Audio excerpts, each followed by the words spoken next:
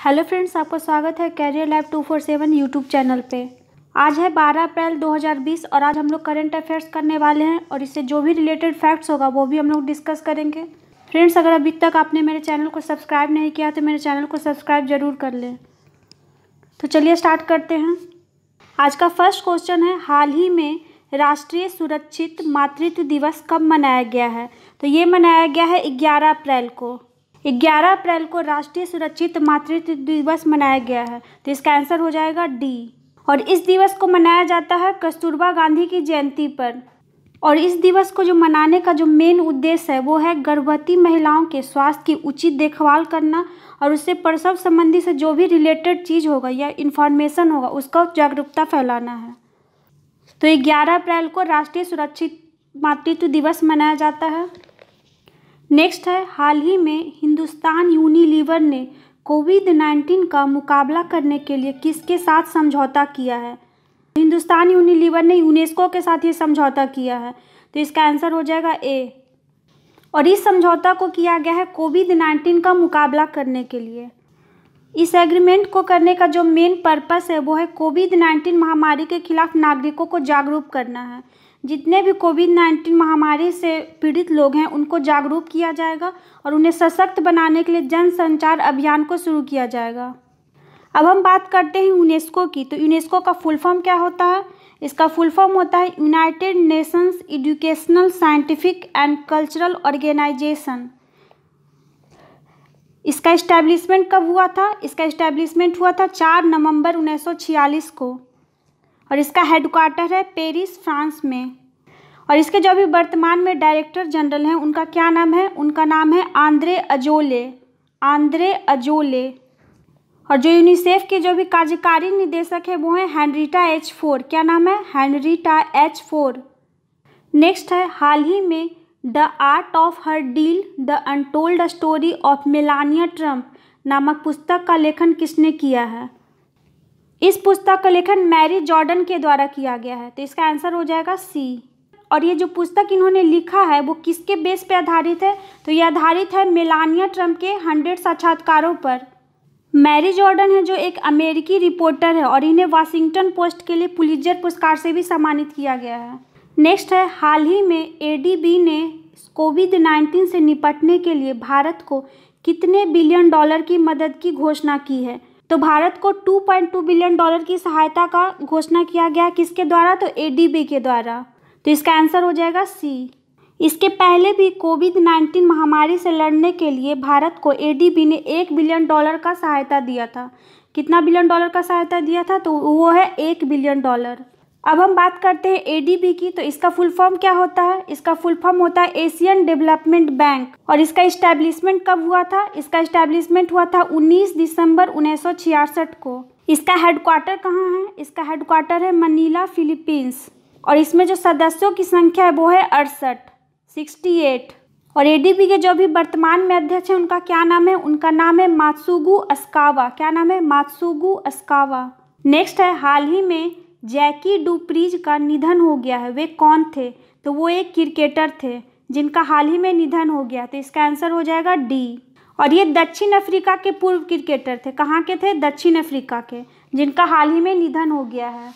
Next है, हाल ही में किस बैंक ने डिजिटल बैंकिंग प्लेटफॉर्म जेन को लॉन्च किया है? तो इस प्लेटफॉर्म को लॉन्च किया गया है जन स्मॉल फाइनेंस बैंक के द्वारा। तो इसका आंसर हो जाएगा बी। जन स्मॉल फाइनेंस बैंक ने इस डिजिटल बैंकिंग प्लेटफॉर्म को लॉन्च किया, जिसका क्या नाम है? इसका नाम है डीजी जेन। अब ये डीजी जेन है क्या? तो डीजी जेन एक ऐसा प्लेटफॉर्म है, जिसके माध्यम से कोई भी ग्राहक डिजिटली रूप से कभी भी और कहीं भी बचत खाता या सावधि जमा खाता को खोल सकता है।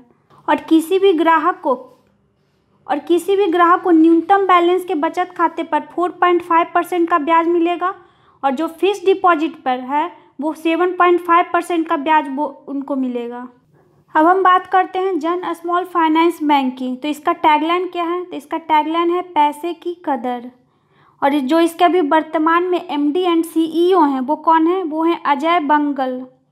और वर्तमान में जो जन स्मॉल फाइनेंस बैंक के जो M D and C E O हैं, उनका क्या नाम है? उनका नाम है अजय कंबल। अजय कंबल। नेक्स्ट है, हाल ही में किस राज्य सरकार ने डॉक्टरों और नर्सों का वेतन दोगुना करने की घोषणा की है।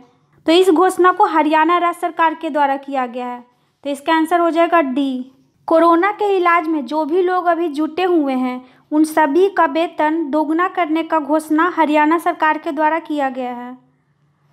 चाहे वो डॉक्टर हो गए, नर्स हो गए, या कोई स्टाफ हो गया, या कर्मचारी हो गए, इन सबों का जो वेतन है कोरोना वायरस के महामारी के खत्म होने तक इन सबों का वेतन को दोगुना किया जाएगा। अब हम बात करते हैं हरियाणा की। तो हरियाणा के जो भी वर्तमान मुख्यमंत्री हैं, उनका नाम क्या है? उनका नाम है मनोहर लाल खट्टर। और जो हरियाणा के अभी वर्तमान राज्यपाल हैं, वो हैं सत्यदेव नारायण आर्य। क्या नाम है? सत्यदेव नारायण आर्य। नेक्स्ट है, हाल ही में फ्लिपकार्ट ने हेल्थ इंश्योरेंस शुरू करने के लिए किसके साथ साझेदारी की है? तो फ्लिपकार्ट ने हेल्थ इंश्योरेंस को शुरू करने के लिए दो के साथ साझेदारी किया है। उसमें से पहला कौन है? ICICI Lombard general insurance company limited है। और जो दूसरा है जिसके साथ साझेदारी किया है, उसका नाम है गो डिजिट जनरल इंश्योरेंस। तो इसका आंसर हो जाएगा ए और सी दोनों। यानी इसका आंसर हो जाएगा डी। और फ्लिपकार्ट है जो कोरोना वायरस से लड़ने के लिए ऐसे दो नई हेल्थ इंश्योरेंस पॉलिसी को शुरू किया है। उसमें से जो पहला नाम है वो है कोविड नाइन्टीन प्रोटेक्शन कवर। और इसे आईसीआईसीआई लोम्बार्ड द्वारा किया जाएगा शुरू। और इस पॉलिसी के माध्यम से ग्राहक को तुरंत पच्चीस हज़ार रुपये का भुगतान योजना सुविधा दिया जाएगा। और जो इसकी वार्षिक प्रीमियम कीमत होगी, वो क्या होगी? वो होगी एक सौ उनसठ रुपये और जो दूसरा हेल्थ इंश्योरेंस है, उसका क्या नाम है? उसका नाम है डिजिट इनलेंस ग्रुप इंश्योरेंस और जिसे किसके द्वारा किया जाएगा पेश? वो डिजिट इंश्योरेंस द्वारा पेश किया जाएगा। और इसमें उपभोक्ता को पाँच सौ ग्यारह रुपये का वार्षिक प्रीमियम पर एक लाख रुपये तक का अस्पताल में भर्ती होने का लाभ प्राप्त मिलेगा। नेक्स्ट है, हाल ही में किस राज्य सरकार ने अपनी जेलों में फेस मास्क बनाने की योजना को शुरू किया है? इस योजना को शुरू किया गया है तमिलनाडु सरकार के द्वारा तो इसका आंसर हो जाएगा सी। तमिलनाडु सरकार ने अपने जेलों के कैदियों के लिए फेस मास्क बनाने का योजना को शुरू किया गया है। अब हम बात करते हैं तमिलनाडु की। तो तमिलनाडु के जो भी वर्तमान मुख्यमंत्री हैं, उनका क्या नाम है? उनका नाम है के पलानी स्वामी। और तमिलनाडु के जो भी वर्तमान राज्यपाल हैं, उनका नाम है बनवारी लाल पुरोहित। क्या नाम है? बनवारी लाल पुरोहित। नेक्स्ट है, हाल ही में कहा, कोविड नाइन्टीन समर्पित twenty four into seven health channel launch किया गया है। तो ये शुरू किया गया है निकोबार में। तो इसका आंसर हो जाएगा ए। निकोबार ज़िले में जितने भी स्थानीय लोग हैं, उनके लिए कोविड नाइन्टीन के लिए समर्पित करने के लिए निकोबार ज़िले में जितने भी स्थानीय लोग हैं, उनके लिए इस हेल्थ चैनल को शुरू किया गया है। और यह जो चैनल है, वो सफ़ाई और स्वच्छता जैसे उपायों को कवर करने के लिए जानकारी प्रोवाइड करेगा। और इस चैनल को तीन भाषाओं में अवेलेबल कराया गया है। वो कौन कौन है? वो है हिंदी है, अंग्रेज़ी हो गया और निकोबारी में। इन तीन भाषाओं में ये चैनल उपलब्ध होगा। नेक्स्ट है, हाल ही में पद्म श्री पुरस्कार से सम्मानित शांति हीरानंद चावला का निधन हो गया है। वे कौन थे?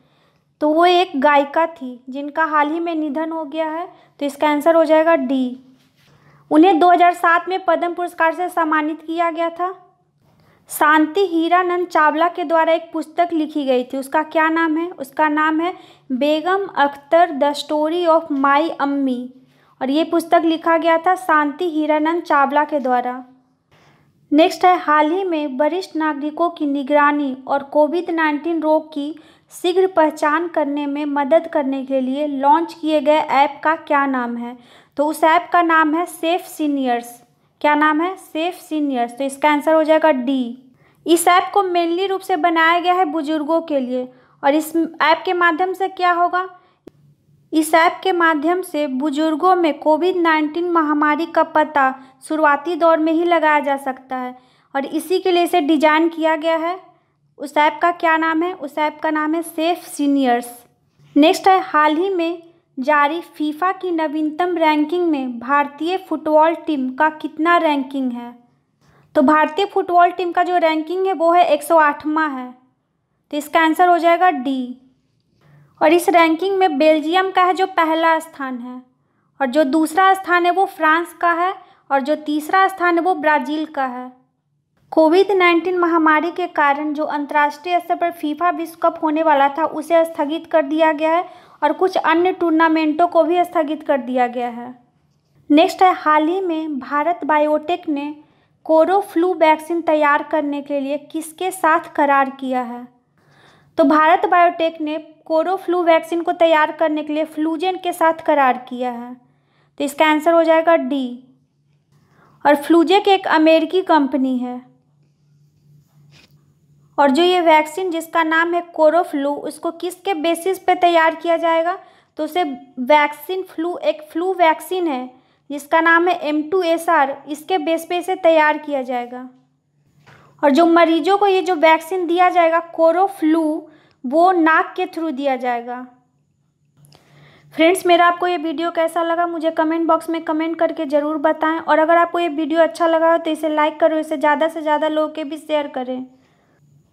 इस प्लेलिस्ट के लिंक पे आप क्लिक करके डेली करेंट अफेयर का वीडियो देख सकते हैं।